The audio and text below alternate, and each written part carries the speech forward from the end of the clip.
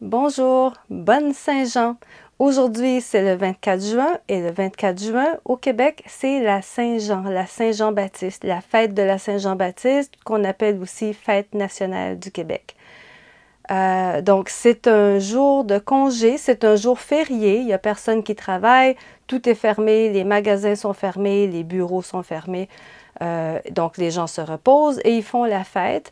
Et il y a aussi, normalement, pas cette année, mais normalement, le 23 juin, donc la veille de la Saint-Jean, il y a des très gros spectacles à Montréal et à Québec avec beaucoup d'artistes, beaucoup de musiciens, beaucoup de chanteurs et chanteuses.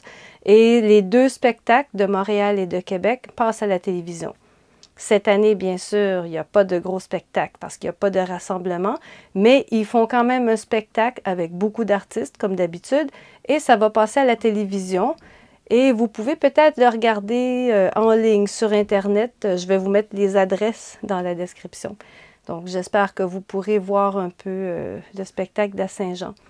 Et euh, comme c'est une fête très importante pour les Québécois et que c'est un jour de congé et que c'est l'été, ben, les gens aiment faire la fête, donc ils aiment fêter la Saint-Jean.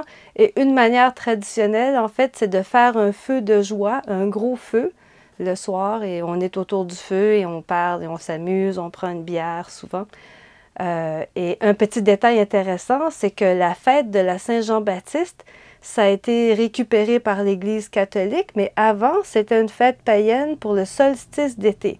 Le solstice d'été, c'est le 21 juin, cette année en tout cas. Euh, donc, c'était la fête du solstice d'été.